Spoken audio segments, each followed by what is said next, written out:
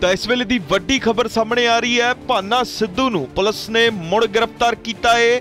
ਦਰਅਸਲ ਲੁਧਿਆਣਾ ਦੇ ਵਿੱਚ ਬੀਤੇ ਦਿਨ ਇੱਕ ਮਾਮਲੇ ਦੇ ਵਿੱਚੋਂ ਜ਼ਮਾਨਤ ਮਿਲੀ ਸੀ ਕਿ ਹੁਣ ਦੁਬਾਰਾ ਦੂਸਰਾ ਮਾਮਲਾ ਦਰਜ ਕਰ ਦਿੱਤਾ ਗਿਆ ਹੈ ਤੇ ਹੁਣ ਪਟਿਆਲਾ ਪੁਲਿਸ ਦੇ ਵੱਲੋਂ ਭਾਨਾ ਸਿੱਧੂ ਨੂੰ ਗ੍ਰਿਫਤਾਰ ਕੀਤਾ ਗਿਆ ਹੈ ਲੱਖਾ ਸਿਧਾਣਾ ਨੇ ਲਾਈਵ ਹੋ ਕੇ ਇਸ ਗੱਲ ਦੀ ਜਾਣਕਾਰੀ ਦਿੱਤੀ ਹੈ। ਦਰਅਸਲ ਬੀਤੇ ਦਿਨਾਂ ਦੇ ਵਿੱਚ ਭਾਨਾ ਸਿੱਧੂ ਕਾਫੀ ਚਰਚਾ ਦਾ ਵਿਸ਼ਾ ਰਿਹਾ। ਲੁਧਿਆਣਾ ਕੋਰਟ ਦੇ ਵੱਲੋਂ ਉਸ ਨੂੰ ਜ਼ਮਾਨਤ ਵੀ ਮਿਲੀ, ਪਰ ਉਸ ਤੋਂ ਪਹਿਲਾਂ ਉਸ ਤੇ ਪਰਚਾ ਦਰਜ ਹੋਇਆ ਸੀ। ਤੁਹਾਨੂੰ ਦੱਸਦੇ ਹਾਂ ਕਿ ਇੱਕ ਮਹਿਲਾ ਟਰੈਵਲ ਏਜੰਟ ਨੇ ਉਸ ਤੇ ਰਿਸ਼ਵਤ ਲੈਣ ਦਾ ਇਲਜ਼ਾਮ ਲਗਾਇਆ ਸੀ, ਜਿਸ ਤੋਂ ਬਾਅਦ ਉਸ ਤੇ ਪਰਚਾ ਦਰਜ ਹੋਇਆ।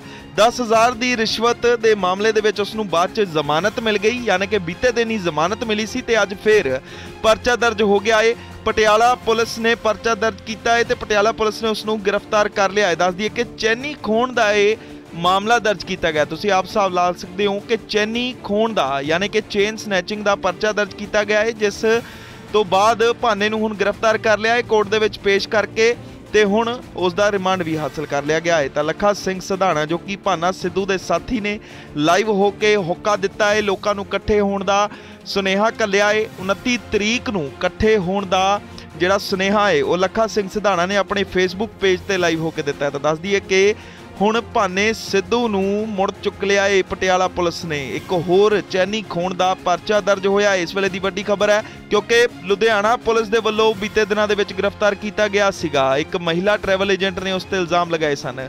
ਤਾਂ ਦੱਸ ਦਈਏ ਕਿ ਭਾਨੇ ਸਿੱਧੂ ਨੇ ਬਿਆਨਬਾਜ਼ੀ ਦੇ ਵਿੱਚ ਆਪਣੇ ਪੱਖ ਰੱਖਦੇ ਹੋਏ ਇਹ ਵੀ ਕਿਹਾ ਸੀ ਕਿ ਜੇਕਰ ਉਹਨਾਂ ਨੂੰ ਕਰੋੜ ਰੁਪਇਆ ਵੀ ਦੇਣ, ਤਾਂ ਵੀ ਉਹ ਨਹੀਂ ਵਿਕਣਗੇ। 10000 ਦੀ ਤਾਂ ਗੱਲ ਹੀ ਛੱਡ ਦਿਓ।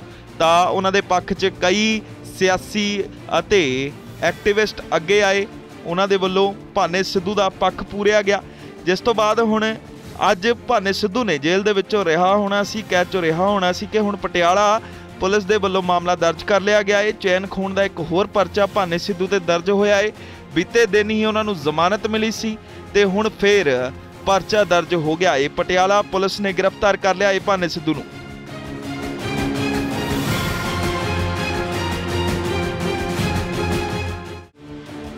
ਤਾਂ ਇਸ ਵੇਲੇ ਦੀ ਵੱਡੀ ਖਬਰ ਸਾਹਮਣੇ ਆ ਰਹੀ ਹੈ। ਭਾਨਾ ਸਿੱਧੂ ਨੂੰ ਪੁਲਿਸ ਨੇ ਮੁੜ ਗ੍ਰਿਫਤਾਰ ਕੀਤਾ ਏ। ਦਰਅਸਲ ਲੁਧਿਆਣਾ ਦੇ ਵਿੱਚ ਬੀਤੇ ਦਿਨ ਇੱਕ ਮਾਮਲੇ ਦੇ ਵਿੱਚੋਂ ਜ਼ਮਾਨਤ ਮਿਲੀ ਸੀ ਕਿ ਹੁਣ ਦੁਬਾਰਾ ਦੂਸਰਾ ਮਾਮਲਾ ਦਰਜ ਕਰ ਦਿੱਤਾ ਗਿਆ ਹੈ ਤੇ ਹੁਣ ਪਟਿਆਲਾ ਪੁਲਿਸ ਦੇ ਵੱਲੋਂ ਭਾਨਾ ਸਿੱਧੂ ਨੂੰ ਗ੍ਰਿਫਤਾਰ ਕੀਤਾ ਗਿਆ ਹੈ ਲੱਖਾ ਸਿਧਾਣਾ ਨੇ ਲਾਈਵ ਹੋ ਕੇ ਇਸ ਗੱਲ ਦੀ ਜਾਣਕਾਰੀ ਦਿੱਤੀ ਹੈ। ਦਰਅਸਲ ਬੀਤੇ ਦਿਨਾਂ ਦੇ ਵਿੱਚ ਭਾਨਾ ਸਿੱਧੂ ਕਾਫੀ ਚਰਚਾ ਦਾ ਵਿਸ਼ਾ ਰਿਹਾ।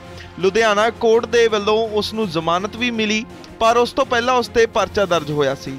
ਤੁਹਾਨੂੰ ਦੱਸਦੇ ਹਾਂ ਕਿ ਇੱਕ ਮਹਿਲਾ ਟਰੈਵਲ ਏਜੰਟ ਨੇ ਉਸ ਤੇ ਰਿਸ਼ਵਤ ਲੈਣ ਦਾ ਇਲਜ਼ਾਮ ਲਗਾਇਆ ਸੀ, ਜਿਸ ਤੋਂ ਬਾਅਦ ਉਸ ਤੇ ਪਰਚਾ ਦਰਜ ਹੋਇਆ। 10000 ਦੀ ਰਿਸ਼ਵਤ ਦੇ ਮਾਮਲੇ ਦੇ ਵਿੱਚ ਉਸ ਨੂੰ ਬਾਅਦ ਚ ਜ਼ਮਾਨਤ ਮਿਲ ਗਈ, ਯਾਨੀ ਕਿ ਬੀਤੇ ਦਿਨ ਹੀ ਜ਼ਮਾਨਤ ਮਿਲੀ ਸੀ ਤੇ ਅੱਜ ਫੇਰ ਪਰਚਾ ਦਰਜ ਹੋ ਗਿਆ ਏ। ਪਟਿਆਲਾ ਪੁਲਿਸ ਨੇ ਪਰਚਾ ਦਰਜ ਕੀਤਾ ਹੈ ਤੇ ਪਟਿਆਲਾ ਪੁਲਿਸ ਨੇ ਉਸ ਨੂੰ ਗ੍ਰਿਫਤਾਰ ਕਰ ਲਿਆ ਹੈ ਦੱਸਦੀ ਦਈਏ ਕਿ ਚੈਨੀ ਖੋਣ ਦਾ ਇਹ ਮਾਮਲਾ ਦਰਜ ਕੀਤਾ ਗਿਆ। ਤੁਸੀਂ ਆਪ ਹਿਸਾਬ ਲਾ ਸਕਦੇ ਹੋ ਕਿ ਚੈਨੀ ਖੋਣ ਦਾ, ਯਾਨੀ ਕਿ ਚੇਨ ਸਨੈਚਿੰਗ ਦਾ ਪਰਚਾ ਦਰਜ ਕੀਤਾ ਗਿਆ ਹੈ, ਜਿਸ ਤੋਂ ਬਾਅਦ ਭਾਨੇ ਨੂੰ ਹੁਣ ਗ੍ਰਿਫਤਾਰ ਕਰ ਲਿਆ ਹੈ ਕੋਰਟ ਦੇ ਵਿੱਚ ਪੇਸ਼ ਕਰਕੇ ਤੇ ਹੁਣ ਉਸ ਦਾ ਰਿਮਾਂਡ ਵੀ ਹਾਸਲ ਕਰ ਲਿਆ ਗਿਆ ਹੈ। ਤਾਂ ਲੱਖਾ ਸਿੰਘ ਸਧਾਣਾ, ਜੋ ਕਿ ਭਾਨਾ ਸਿੱਧੂ ਦੇ ਸਾਥੀ ਨੇ, ਲਾਈਵ ਹੋ ਕੇ ਹੁੱਕਾ ਦਿੱਤਾ ਹੈ। ਲੋਕਾਂ ਨੂੰ ਇਕੱਠੇ ਹੋਣ ਦਾ ਸੁਨੇਹਾ ਕੱਲਿਆ ਹੈ। 29 ਤਰੀਕ ਨੂੰ ਇਕੱਠੇ ਹੋਣ ਦਾ ਜਿਹੜਾ ਸੁਨੇਹਾ ਹੈ, ਉਹ ਲੱਖਾ ਸਿੰਘ ਸਧਾਣਾ ਨੇ ਆਪਣੇ ਫੇਸਬੁੱਕ ਪੇਜ ਤੇ ਲਾਈਵ ਹੋ ਕੇ ਦਿੱਤਾ ਹੈ। ਤਾਂ ਦੱਸ ਦਈਏ ਕਿ ਹੁਣ ਭਾਨੇ ਸਿੱਧੂ ਨੂੰ ਮੁੜ ਚੁੱਕ ਲਿਆ ਏ ਪਟਿਆਲਾ ਪੁਲਿਸ ਨੇ। ਇੱਕ ਹੋਰ ਚੈਨੀ ਖੋਣ ਦਾ ਪਰਚਾ ਦਰਜ ਹੋਇਆ। ਇਸ ਵੇਲੇ ਦੀ ਵੱਡੀ ਖਬਰ ਹੈ, ਕਿਉਂਕਿ ਲੁਧਿਆਣਾ ਪੁਲਿਸ ਦੇ ਵੱਲੋਂ ਬੀਤੇ ਦਿਨਾਂ ਦੇ ਵਿੱਚ ਗ੍ਰਿਫਤਾਰ ਕੀਤਾ ਗਿਆ ਸੀਗਾ। ਇੱਕ ਮਹਿਲਾ ਟਰੈਵਲ ਏਜੰਟ ਨੇ ਉਸ ਤੇ ਇਲਜ਼ਾਮ ਲਗਾਏ ਸਨ। ਤਾਂ ਦੱਸ ਦਈਏ ਕਿ ਭਾਨੇ ਸਿੱਧੂ ਨੇ ਬਿਆਨਬਾਜ਼ੀ ਦੇ ਵਿੱਚ ਆਪਣੇ ਪੱਖ ਰੱਖਦੇ ਹੋਏ ਇਹ ਵੀ ਕਿਹਾ ਸੀ ਕਿ ਜੇਕਰ ਉਹਨਾਂ ਨੂੰ ਕਰੋੜ ਰੁਪਇਆ ਵੀ ਦੇਣ, ਤਾਂ ਵੀ ਉਹ ਨਹੀਂ ਵਿਕਣਗੇ। 10000 ਦੀ ਤਾਂ ਗੱਲ ਹੀ ਛੱਡ ਦਿਓ। ਤਾਂ ਉਹਨਾਂ ਦੇ ਪੱਖ 'ਚ ਕਈ ਸਿਆਸੀ ਅਤੇ ਐਕਟਿਵਿਸਟ ਅੱਗੇ ਆਏ, ਉਹਨਾਂ ਦੇ ਵੱਲੋਂ ਭਾਨੇ ਸਿੱਧੂ ਦਾ ਪੱਖ ਪੂਰਿਆ ਗਿਆ।